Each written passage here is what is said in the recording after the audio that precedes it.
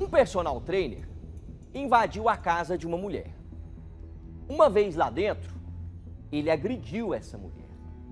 Pois é, eles foram parar na delegacia. Pequeno detalhe: a mulher seria a amante do personal trainer. O BO todo ficou a descoberto. Leonardo Gonçalves, lá de Anápolis, conta pra gente. Um personal trainer de 36 anos foi preso aqui em Anápolis depois de pular o muro da casa da mulher a qual ele se relacionava e agredir essa mulher. Quem vai dar detalhes desse caso é a doutora Isabela Joy, que está ao meu lado. Doutora, o que, que aconteceu?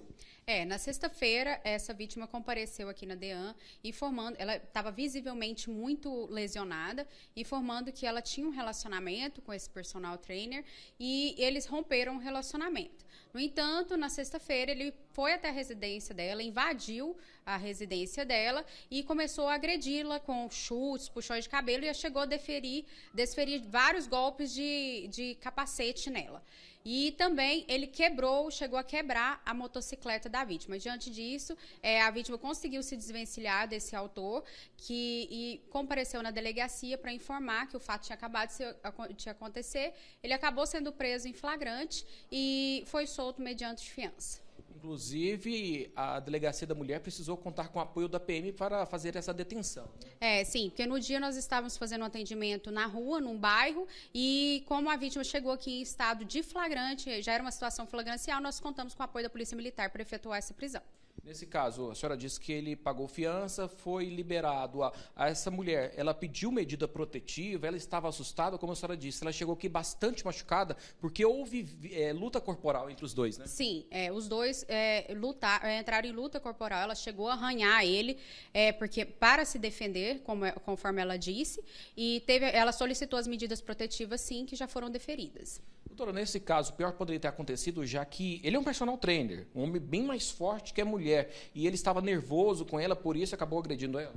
É, sim. Ele já foi lá tirar satisfação de uma discussão que eles estavam tendo. Então, já foi para brigar.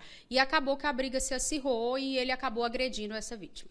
Durante o depoimento, ela se mostrou bastante assustada. Ela quer manter longe dele, já que a medida protetiva diz em 300 metros de distância, pelo menos. Né? Sim, ela estava bastante assustada, até porque ela alega que foi a primeira agressão física e ela estava bastante machucada e ela queria realmente a medida protetiva e se resguardar para que ele não fizesse algo pior com ela.